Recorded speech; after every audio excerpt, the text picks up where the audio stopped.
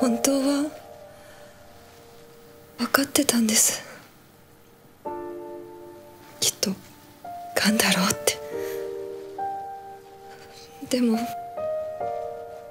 でもどうしても受け入れられなくて。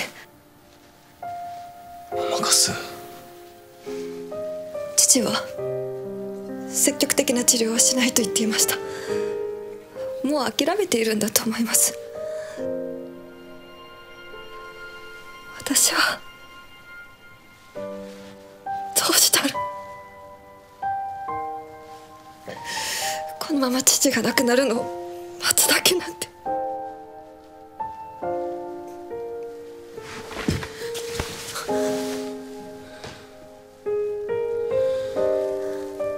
すぐに受け入れられなくて当然だよ。